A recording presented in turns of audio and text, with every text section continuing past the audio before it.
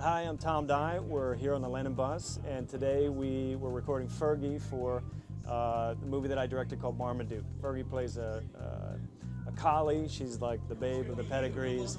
She plays opposite Owen Wilson in the film. So we came on the bus today because Fergie's on tour and she couldn't make it to LA, so we came up here to San Jose, and we were able to record some lines that we needed to put in the film and uh, it was pretty great. Now we're just cutting the lines in. We're trying to choose the best takes so that we can take it back to Los Angeles and put it in the movie. It's been really impressive and it's great that, that there's all this equipment here and we have our own little movie studio that we can take advantage of and uh, this guy's done a great job.